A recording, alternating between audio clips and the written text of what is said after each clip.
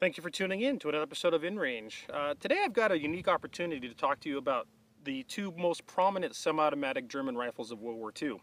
There were others, of course, like the FG-42, which was select fire, and of course the STG-44, which was select fire, but these were the semi-automatics. These were essentially Hitler's Garands. There's a book called Hitler Garands, in fact, and uh, it's a good resource for this documentation. But in that regard, since we have both of these rifles here for a short duration of time, what I thought I would do is talk to you about the differences between the two, why they went from the G41 to the G43, and how these things handle not only in the field but on the clock as well. Because I've actually used the G43 in some matches, uh, two-gun matches. I have never used the G41 and probably never will.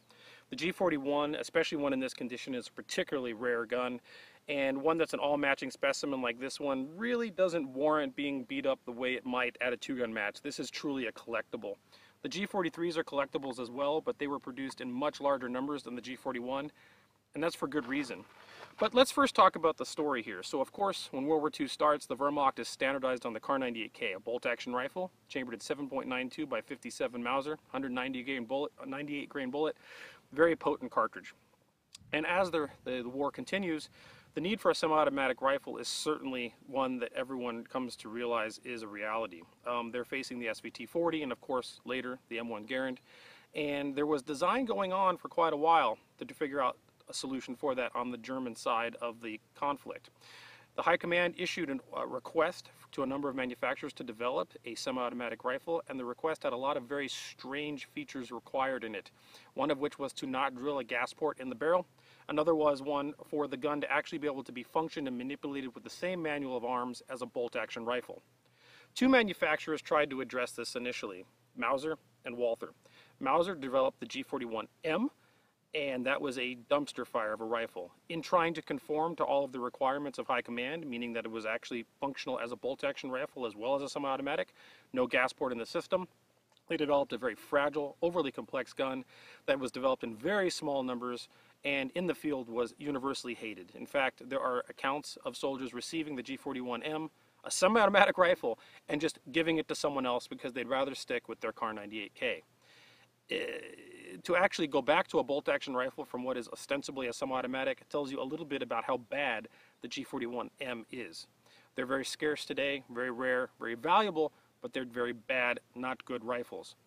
The G41W, Walther, didn't conform to the requirements of high command. They read them, and someone at Walther uh, essentially was switched on and went, this is a ridiculous set of requirements, and we're not going to attempt to fulfill nearly all of them. What they did do is conform to the requirement of having no gas port drilled in the barrel. Other than that, they developed a reasonably reliable, resilient, durable semi-automatic rifle uh, with that one strange gas requirement. The gas system in this gun is called the Bang system. In fact, the original M1 Garand was developed with the same and quickly removed that out and went, went to a long stroke gas piston. Um, this system is unique and very unusual in that it's one of the very few military rifles ever issued that use this gas system in any large numbers. So how this functions is you have the barrel which acts as essentially a essentially a guide rod and then there's a puck which acts like the piston that rides around the barrel and then this slides on the barrel and this cone then screws onto the front end. As gases leave the muzzle, the gases are pushed around the barrel and that puck is reciprocates over the barrel like a piston, striking two op rods on each side of this gun, which then cycles the bolt carrier, unlocking the gun and cycling in another round. Here is your vent holes. The puck's right here. We'll get into that more in a moment. What this does do is not have a gas port in the barrel, which everyone at that time thought, or at least in the Germans thought, that that was going to erode and cause issues. Really, the lifetime of these guns in the field, it didn't matter. It would have never mattered. However, what it does do is break a bunch of weird parts laying at the end of this gun, which makes the total balance of this very front heavy. It's very hard to shoot this offhand accurately. Can be done, but it's difficult. Makes the gun heavier in general, and the reciprocating mass and such also makes the, the recoil impulse also challenging to get shot-for-shot -shot recovery, even though it's a semi-automatic gun. I will tell you that this gun shot from a prone or supported position is very comfortable. The gas system in that regard is quite mild because you can rest the weight of this on something and then the weird balance issues are sort of mitigated. But this turned out to be a disaster in the field. The soldiers didn't like it. It required a lot of field maintenance and field maintenance on the eastern front in the winter in the mud is not something you want to be required to do regularly and as a result, there were a lot of complaints, and there was a decision to fix the gas system on this gun. The fixing of the gas system came in the guise of the G43. Now, the G43 gas system uses a short stroke gas piston. They copied the gas system essentially directly off of the SVT-40, the Russian sample, the Russian semi-automatic rifle, and in the process, what they did is they intentionally overgassed this gun dramatically uh, to keep it reliable in the field. This is when it's interesting that the original requirements for not having a gas port was to increase the durability and lifespan of the rifle, and then at this point they purposely intentionally increased the gas system to the point where the gun essentially shoots itself to pieces over time, and they did that for reliability in the field because they realized that the lifespan of these guns in the field, in the hands of a soldier on the Eastern Front, could be measured sometimes in minutes, and as a result, the reliability and durability of the gun's long-term uh, capabilities was no longer relevant. That said, if you were to get a G43 today to shoot it, you need to modify the gas system with an aftermarket gas system. I have one in here. I'll talk about that later. But what that does is allows you to shoot the gun safely. A number of things changed on these guns throughout the course of their development, and that's what I want to talk about today. Um, one of which was the G41 originally was designed to have a saddle mount scope system with the ZF41. The ZF41 is a 1.5x DMR type optic. It's not really a sniper, sniper rifle, sniper scope. It allows you to have a little better accuracy in the field because you have a single point of focus. You don't have to focus on a front sight and a target, you just focus on the target and of course using an optic you can superimpose the reticle on it. This saddle mount was issued in extremely small numbers. It does not hold zero very well and as a result they kind of ditched this idea very quickly although a number of them were still manufactured with these scope rails built into the receiver for that purpose. Actual field use of the saddle mount and the ZF41 on the G41 is close enough to zero to consider it never really being used. They decided to increase the capabilities of the G43 when they went to it by adding an integrated scope rail. This one actually does retain zero, but it does not mount the ZF41, it mounts the ZF4, which is a 4X optic. That right there gives you a much better optic sighting system. This is a really good optic. It is 4X. It is adjustable for both elevation and windage. And you can still use the iron sights with the relatively high offset optic. Now, that said, this was intended to be a sniper rifle. Accuracy, however, in field trials turned out to not present itself for what a sniper would want. This really is a DMR, a designated marksman rifle. And there's a number of accounts from books in which snipers use these as DMRs out to 300 meters, and within 300 meters, this gun does a very good job. After that, for precision shots, this starts falling off. The system that was developed for this just is not that inherently that accurate, and as well as late war manufacturing and materials lent itself to not being a very accurate rifle. It's a good combat gun for its short lifespan. It is a good DMR with a scope on it. It is not a good sniper rifle. While many of them, or all of them, had this scope rail milled into the frame or the receiver of the gun, they very few of them were actually issued with the scope. So this scope is kind of an anomaly. You'll see them very frequently with scopes. Collectors like to put scopes on them, but the reality is scopes were not really that much of a thing in the field, and there were snipers that used them as DMRs, but that's about that. However, another thing that's a very interesting analysis between these two guns is to watch how the manufacturing processes changed to be able to manufacture more of them rather than less of them because the loss rate on the Eastern Front of men and rifles was extreme. So, in that regard, if we look at the G41, you'll see that it seems to function very similarly. It's got a cover here, it's got a dust cover, it's got a bolt carrier group. G41 locks back on the last fired round, has a stripper clip guide here to chamber two five round stripper clips for a capacity of 10 rounds in a fixed box magazine. This entire unit is one giant explosive spring unit. So what happens is to disassembly the gun, you bring it back, lock it like that, put it on safe, depress this spring right here, and as a result, this will lift up and out, and this is your field strip of the gun. You can then wipe this down. You can take this down further. It is currently completely held by spring tension by this little latch. If you were to release this latch right now, this thing will explode across everywhere. Pieces will fly, I'm not joking, far away. In fact, it's dangerous to your eyes. If this were to open up with this pointed at you and you were not being cautious, you could actually hurt yourself with this. There is a lot of spring pressure and tension in this unit. But to demonstrate how similar the G41 is to the G43, I'm going to go ahead and show you that real quick. So this is the G41 bolt carrier group, for lack of a better term. And now let's go ahead and take a look at the G43 one. So a couple things changed. First of all, the bolt carrier group, uh, or the dust cover or guide cover on the G41 is milled. This is a piece of milled steel and that was part of the original design requirements. This is actually quite durable and even in an overgas system, this milled system will do quite well and be very resilient. You have to realize that this entire unit is slamming back into the rear of this if the springs get a little weak and as a result there's a lot of pressure being applied, force I should say, being applied to the rear of this system. This is your bolt stop right here. It's not the gun, this is the bolt stop which comes out like this. This being milled made it strong enough and safe enough for that design. However, milling metal and materials is costly and expensive as well as very resource intensive. So when they went to the G43, a very small number of them were manufactured with this milled type system, but they went to stamped sheet metal. This was a, a way to speed up the production cost, production of the gun, as well as to reduce the raw materials required to do this. However, this stamped sheet metal piece is extraordinarily weaker than the original milled one.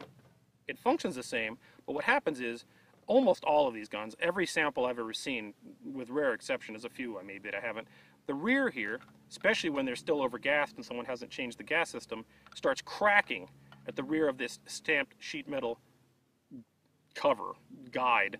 Uh, as a result, this starts failing here, and when it gets bad, you'll actually see like it'll start bending pieces in the rear of the gun. The safety will pop out, and this is all based on not only reduction of costs and raw materials by using stamped sheet metal, but the overgas system of the G43 again, in the field, the loss rate was so extreme this wasn't relevant. But nowadays, if you're going to use one of these guns and you don't down gas the gun, these will fail. And even when you down gas the gun, these stamped sheet metal pieces will eventually start cracking. I've seen two or three of them now, and I've even had a few do it myself, and this gun is properly gassed.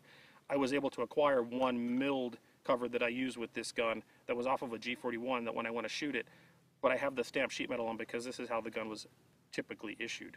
Now, and produced in the largest numbers. So let's go ahead and show you how similar the field strip is. Bring this back, lock it, on safe, push the button, and that comes right out. Now, to those of you paying attention, these are essentially identical with a few small differences. A reduction of quality. I mean, you can tell here, we've gone from really quite high quality production of the bolt carrier and this unit the general cover slash guide and you're now looking at this which is of course roughly finished on the outside but properly finished on the inside for reliability. Stamped sheet metal. This is a this is a solid charging handle. This is hollow these are all reduction of cost and time to make more of the guns. In fact it got to the point where they even started omitting this little button here so you couldn't lock this as one unit like this which made it harder to field strip. But that was near the end of the war. So let me show you how similar these guns are, in fact, and then I'm going to take the unit off of the G43 and I'm going to actually install it into the G41. Uh, that's how similar these parts are. In fact, the interchangeability of parts between the G41 and the G43 is very high. With the exception of the gas system and the detachable box magazine, these guns are virtually identical. Um, Another difference, which the keen-eyed of you might have noticed, is that the charging handle is on different sides. And that's because they decided to put, as I mentioned earlier in the video, a scope rail on the right side of the G43 and the charging handle being on the left would of course impede that and would cause a problem. So they just merely moved the charging handle to the right.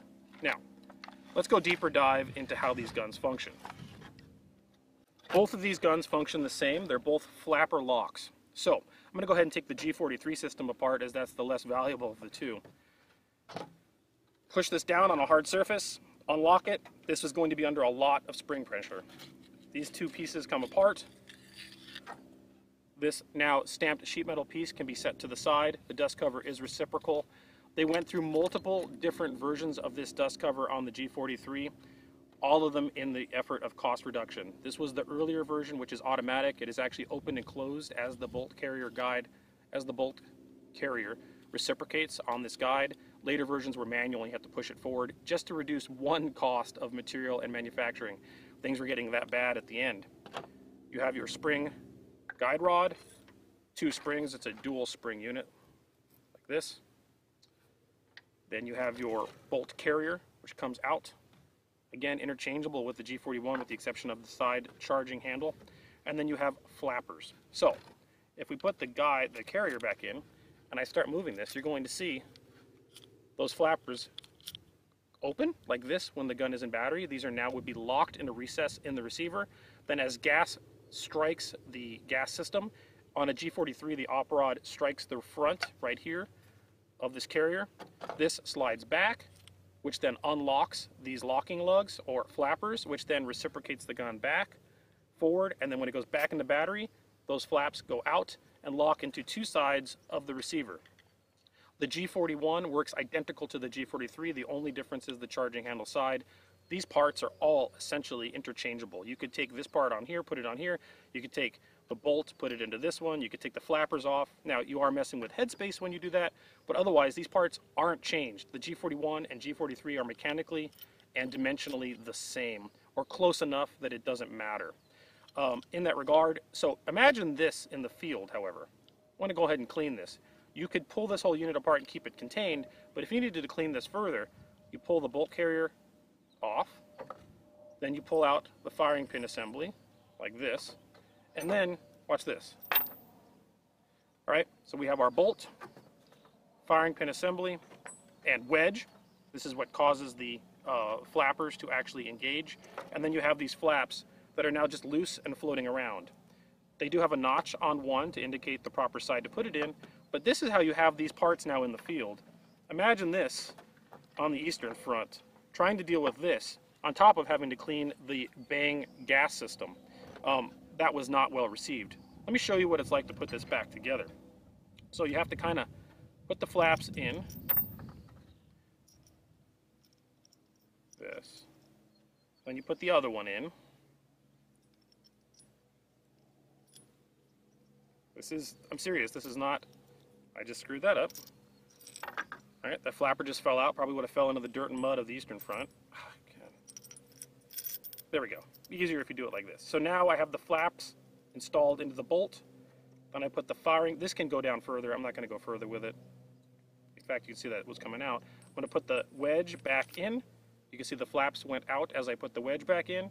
And now that's essentially back together-ish. We then have to guide the bolt carrier into that recess. Then we have to put the springs back into the system.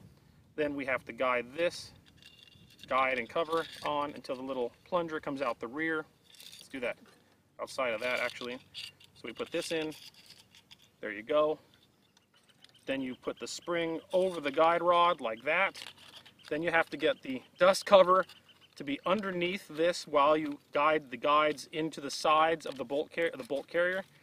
Then you push it back under strong spring pressure and then lock it in place. This is now once again under extreme spring pressure. If I were to unlock this, this would explode everywhere. The G41 is no different. These are exactly the same with the exception of the quality of manufacture, milled parts, and the sides of the charging handle. Otherwise, they are functionally the same.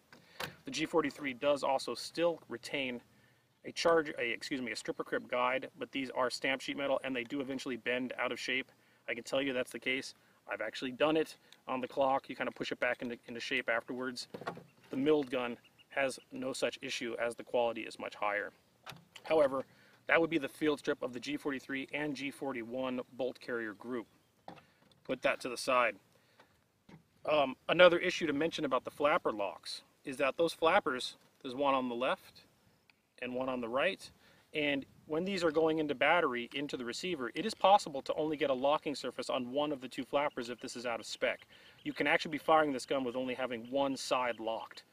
The flapper system turned out to not be the best, and of course, later on, that wedge turned into a development for the delayed roller G3 and of course very late war experimental STG-45s. But that wedge system, imagine those flaps being turned into rollers going into recesses and then you can see the origins of what became the G3 delayed roller system in the G41 and the G43.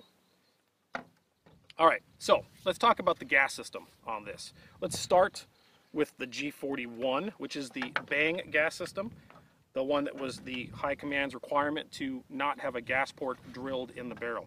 I'm gonna go ahead and push the plunger. There's a plunger right here that keeps this cone on. So you press the plunger in.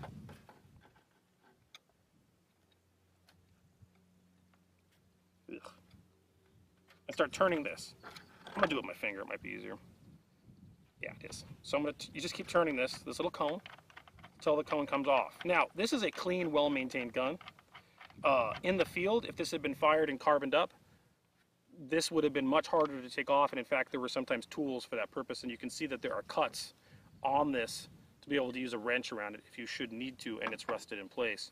Um, so that little plunger is depressed, that cone comes off. This is the forcing cone that the gases escape around the muzzle and then go down into this gas chamber here. This then comes right off like that. This is essentially your gas cylinder and you've got vent holes here, here, here, and here. You'll notice the front sight comes off with that. That's another issue. As the gun gets worn and the splines start becoming deformed, your windage zero will get weird. This gun's really tight and in perfect condition. However, that's a real problem and taking your front sight on and off is probably not the best idea. This is the puck I was referring to earlier. If you guys have ever used a Saiga 12, this might look familiar to you. This is what rides around the barrel, with the barrel being essentially the guide rod for the gas system. This is the op rod, which then cycles back and forth like this,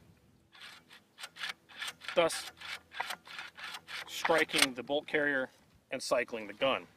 So you have to clean this in the field and all of the carbon and remember we were using uh, corrosive ammo at this time of course all of those corrosive salts are depositing on the barrel and around this action. So this has to be cleaned reliably or it will definitely seize up and freeze. So put this back on, then start screwing the cone back on. You have to depress the plunger and then it'll click and that's it. That's the gas system. You can see there's a lot of mass and weight at the front of the gun. You see that that puck is there. This will get fouled up eventually, and this is a problem. It was never a good system, and it was all based on the requirement to not drill a gas port in the barrel from high command. It was a stupid concept. It was never should have been done that way. All right, so the Germans encountered the SVT-40 in the field, and they look at the gas system on that. It's using a short stroke gas system. I'm going to go ahead and also loosen the sling on this one, just because it makes things easier.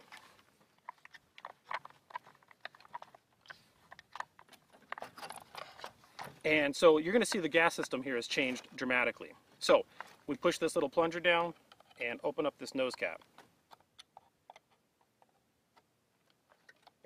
Okay, that comes right off.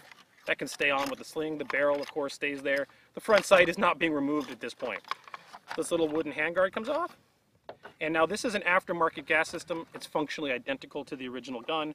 The difference is that its port diameter has been changed so that the amount of gas being put into the system is less. And I have a little rubber buffer here to not deform this op rod against the receiver. That's so I can shoot the gun safely. So we pull this to the, to the back. This little part comes out right there. And that. And that.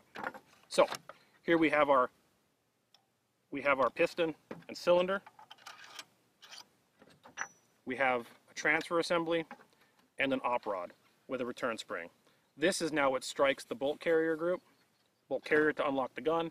This of course is where the gas fills this cylinder until it comes back and it starts venting out. There are some that have vent holes and some that do not. And then you have this transfer assembly.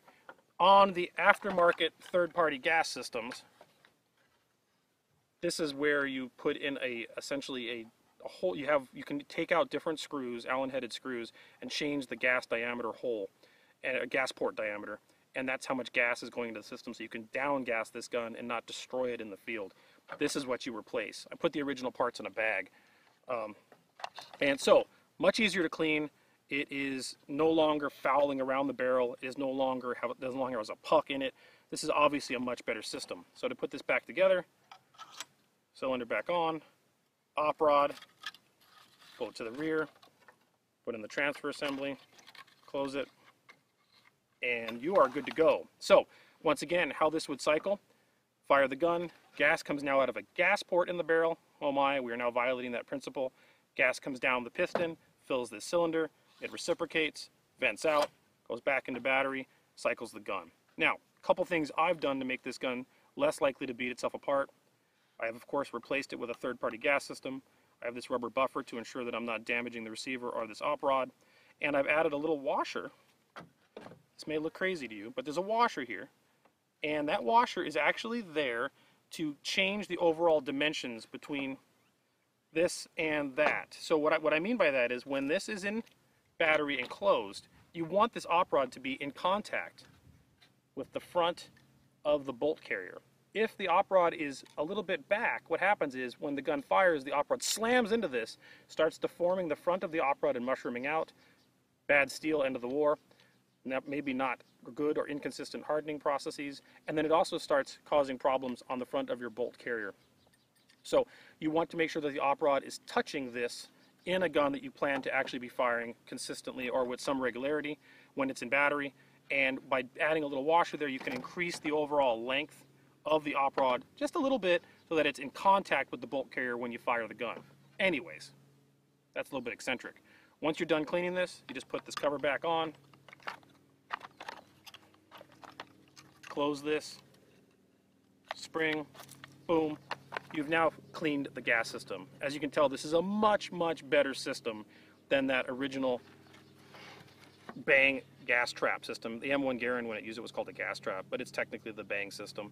This is a huge improvement, directly copied from the SVT40. Other big differences between the G43 and G41, we should probably mention the obvious one. I mentioned that there are stripper clip guides both on the G41 unit and on the G43. G43 one's a little bit fragile, but there are stripper clip guides. Both can be charged with five rounds standard K98 stripper clips, but the G41 has a fixed box magazine and the G43 has detachable box magazines. These are 10 round capacity. This is 10 round fixed box magazine. These are detachable 10 round box magazines.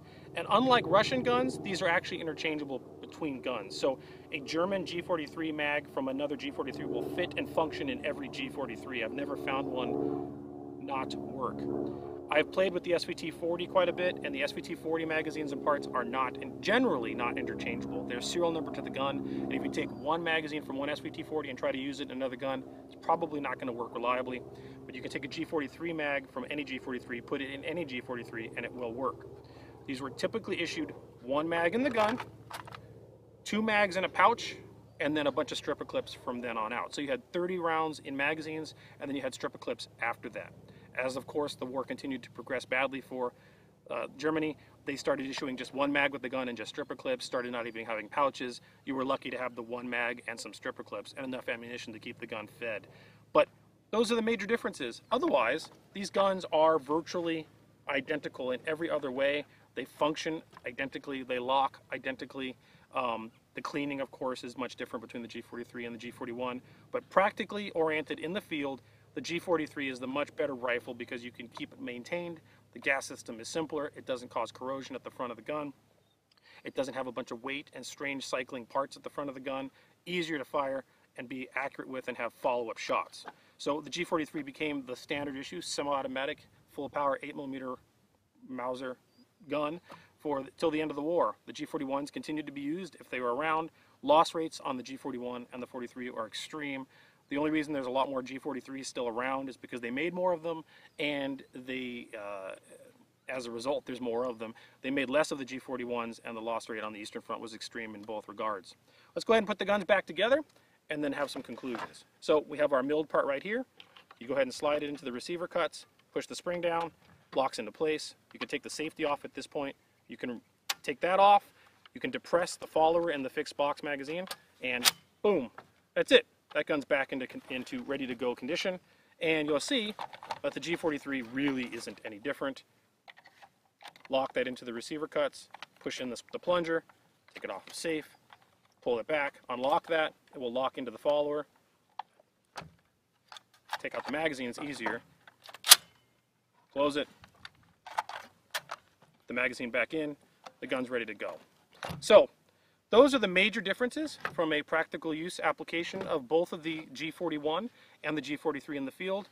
And I think that that will bring to light why the G41 wasn't around all that long and why it was a developmental dead end and why the G43 became the more standard issue gun, why the G41 is not that great in a practical environment and the G43 is better.